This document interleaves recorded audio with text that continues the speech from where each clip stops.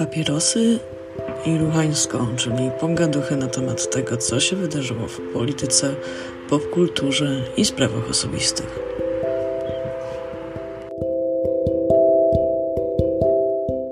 Tie me up like I'm surprised. That's role play. I wear disguise. I want you to park that Big Mac truck right in this little garage. Make it cream, make me scream. Out in public, make the scene. I don't cook, I don't clean, but let me tell you, I got this ring.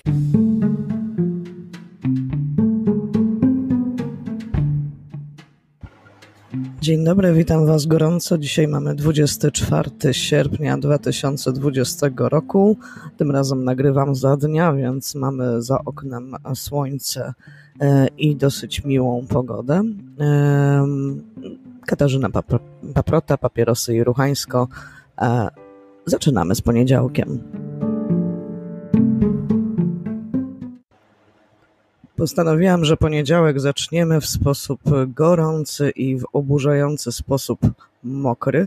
E, nie będziemy jednak mówić o seksie, w każdym razie nie tak bardzo wprost, bo na ten temat bardzo dobrą audycję ma Bija Sadowska w Radiu Kapitał. E, no i UBI jakby są o wiele większe kompetencje na temat e, tematyki seksu. Gorąco zachęcam do tego, żebyście słuchali jej audycji. A ja opowiem troszeczkę też o erotyce, ale w nieco innym kontekście. Na początku sierpnia, właściwą losu koleją, Cardi B wydała nowy singiel e, z tytułem, który e, starszym z nas przypomina takie stare, może nawet niezbyt dobre czasy komórek sprzed smartfonów, były takie czasy e, i na te komórki był zaprojektowany taki specjalnie, specjalny mini internet, taki, taki internet do noszenia w kieszonce i on się nazywał WAP. Oczywiście piosenka nie jest o internecie, w każdym razie nie wprost, ale ma bardzo podobny tytuł, WAP. E, jeżeli ją słyszeliście, a najlepiej jak jeszcze widzieliście wideo z do niej, to na pewno już wiecie, że kawałek jest tak naprawdę o kobiecej rządzy jest bardzo zmysłowy i co jest istotne i co, na czym się oprę e, w dalszej części e, dzisiejszego odcinka, język piosenki jest taki dosyć bezpośredni, e, wręcz wulgarny, ale to oczywiście nie pozbawiony poetyki i pasji, zwłaszcza pasji. Trzeba wam wiedzieć, e, tym osobom, które nie wiedziały, nie widziały, nie słyszały kawałka, nie widziały wideosa, że e, wideoklip do tej piosenki też jest bardzo sugestywny i zmysłowy. Generalnie piosenka, pomysł na, na piosenkę jest taki, że każda z wokalistek, jest takich tam kilka, e, nawija sobie o tym, że lubi seks, jak lubi seks, wspiera tą swoją nawijkę właśnie tanecznymi, dosyć sugestywnymi ruchami. Żadna z nich nie kryje, że faktycznie ten seks bardzo lubi. W Polsce na szczęście prawy internet chyba jeszcze nie wie, że istnieje ten kawałek, nie wie, że w ogóle istnieją e, rapujące kobiety, niebiałe rapujące kobiety. Jak na razie płaczą raczej nad kneblowaniem Jacka Piekary i niesłowiańskim Wiedźminem, co jest oczywiście ucieszne, a nawet urocze anachroniczne. Okej, okay, w piątek rozlał się poseł e, Solidarnej Polski Mariusz Kałużny, bowiem odkrył, że na Netflixie są filmy i seriale z udziałem osób niehetero. Oh my god. Pan Mariusz Kałużny uznał, że jest to przemoc oraz proszę zwrócić mu jego ciężko wysiedziane w ławie poselskiej pieniądze. E, tutaj dodam e, z, oczywiście ze swojej własnej złośliwości, że poseł Mariusz Kałużny wykazał zerową aktywność w trakcie tej kadencji i w sumie nie chcę wiedzieć, co się stanie, jeżeli ta prawa stan odkryje wreszcie ten kawałek, więc może lepiej, że go na razie jeszcze nie zauważyła. Natomiast statyczni zachodni konserwatyści doświadczyli yy, na widok tego kawałka no, takiego masowego incydentu kołowego, yy, a już zwłaszcza osobliwa traka żar ptaka stała się udziałem Bena Shapiro, myślę, że jego sylwetki nie muszę jakoś bardzo przybliżać moim słuchaczkom i słuchaczom, ale tak w bardzo dużym skrócie mm, jest to ogromnie popularny wśród młodych ludzi komentator polityczny, e, którego poglądy, no ja, ja bym zaliczyła do skrajnie prawicowych. No i on e, uznał za stosowne rozświetlić mroki świata roku 2020, wypuszczając swój program i recytując w nim takim dosyć dużym niesmakiem tekst właśnie piosenki WAP, cenzurując wszystkie nawiązania do seksu, co jak się domyślacie stanowi ogromną część tekstu. Było to obiektywnie przezabawne, doczekało się zresztą wielu memów, przeróbek, nawiązań. Typ, który jest lekko podkurzony i mocno oburzony, mówi nas w swoim programie moje słowo na P jest mokre. No trudno zachować powagę. Shapiro podbijał zresztą tego hejta na siebie, dyskutując jeszcze z szydercami.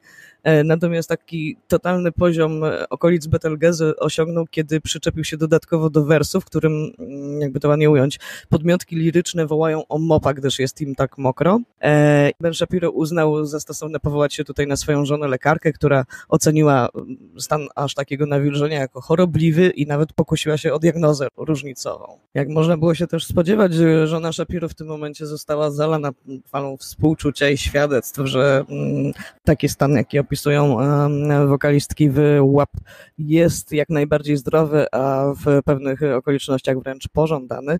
Umówmy się, że no też niecodziennie typ zwierza się całemu internetowi, że jego żona z pewną dozą prawdopodobieństwa chyba nie ma zbyt wielkiej przyjemności w seksach z nim, więc o ile żona, żona raczej otrzymała dużo sympatii i współczucia, o tyle, o tyle Ben Shapiro rzeczywiście głównie szyderę. Wspaniale to zresztą pasuje do jego wizerunku takiego konserwatywnego, właśnie scjentystycznego dzbana.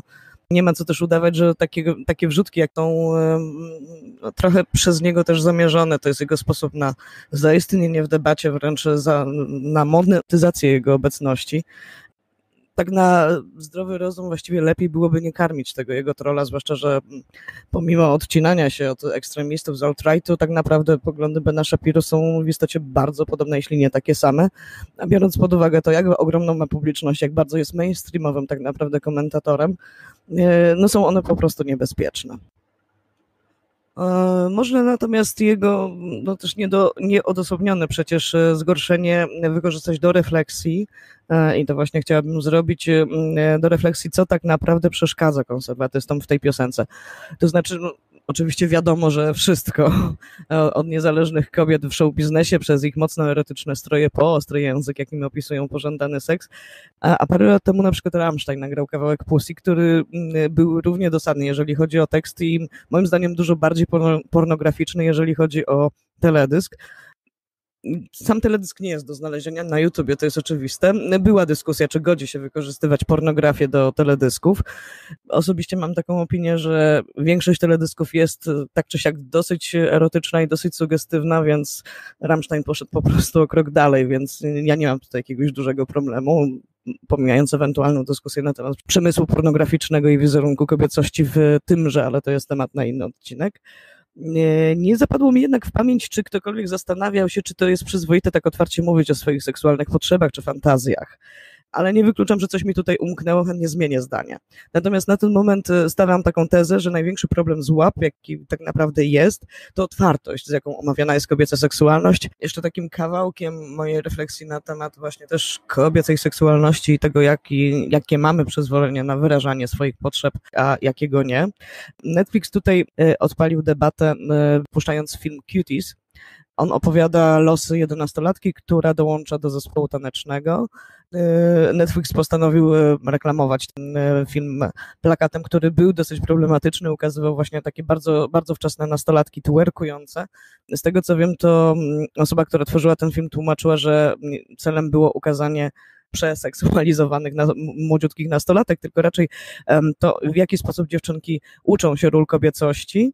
E, I konkluzją tego filmu było to, że media, zwłaszcza social media, wywierają bardzo masywną presję na dziewczynkach, by naśladowały rozerotyzowane, a może raczej kuszące mężczyzn do seksu wizerunki kobiet, nie dając im właściwie żadnej alternatywy w zamian. W sensie jedynym pomysłem na to, jak zaistnieć właśnie w social mediach, będąc e, młodziutką nastolatką, jest po prostu kusić mężczyzn do seksu. Filmu nie widziałam, więc nie ocenię, czy ta teza wybrzmiewa rzeczywiście w tym filmie, natomiast e, to jest, to jest taki drugi jakby element tego, w jaki sposób pokazuje nam się kobiecość i co nas w tym oburza. Ja jeszcze tutaj podkreślę, że nie, nie widzę jakiejś e, dużej niespójności pomiędzy tym, że z jednej strony, być może tego nie zauważyliście, ale ja mega doceniam kawałek łap, w sensie uważam, że on jest po prostu obiektywnie dobry, fajny, zabawny, nie wiem, figlarny, kuszący i tak dalej. I jednocześnie rozważam debatę nad cuties. Cenne w kawałku Cardi B jest to, że kobieta jest e, podmiotowa, że to jest właśnie taka podmiotowa kobieca perspektywa, jeżeli chodzi o seksualność, że, że to kobieta mówi o swoich pragnieniach i swoich rządzach, a nie jest e, tym kawałkiem, który, który po prostu koresponduje z fantazjami mężczyzn, a z kolei u Cuties jedyny wzorzec do naśladowania to jest właśnie kusząca do, do seksu kobieta, która nie ma zbyt wiele wspólnego z podmiotowością. Także tu, są te, tu jest taka moim zdaniem dosyć duża różnica. E, ja e, w tym momencie jakby nie wyciągam żadnych wniosków, ani nie chcę, nie chcę dochodzić do żadnych konkluzji, dlatego że e, sama nie mam jeszcze tego zbyt dobrze przemyślanego. Poza wszystkim innym, no, rozmawiamy tutaj cały czas o zachodniej popkulturze, która nie musi się przekładać jeden do jeden do, na, na kulturę polską i na, na to, co przeżywają polskie nastolatki. Natomiast pomyślałam sobie, że właśnie tak, w taki trochę lżejszy sposób dzisiaj sobie pomyślimy na temat tego, jak to jest być kobietą dzisiaj.